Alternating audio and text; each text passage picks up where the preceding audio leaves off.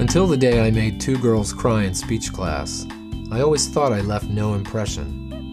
I was cautious, featureless, a bus stop standalone holding his breath, waiting for something to happen. I didn't have any friends except for my original cast recordings. Then my oral com 2 teacher put me onto this thing called Speech Team in an event called Dramatic Interpretation, doing a scene from a play called The Boys in the Band. I played both parts, just me. Definitely weird.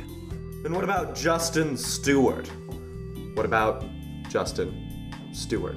You were in love with him, that's what about him, and that is who you are going. For my focal points, I picked James Madison and William Howard Taft. Maybe it was inappropriate. According That's to Justin, the not friendship true. Was I mean, you slept with him several times in college. Several times. He told you a lie. But it was 1976. Then I started winning tournaments and making new friends. And then something did happen. Focus. I met Ned.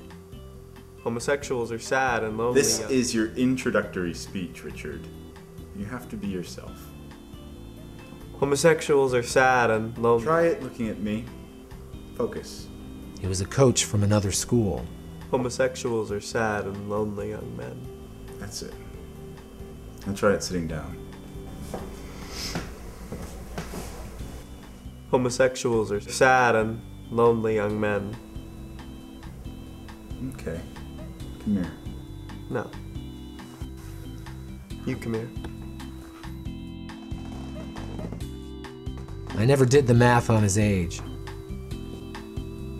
Was that inappropriate? I still don't know. Read my book.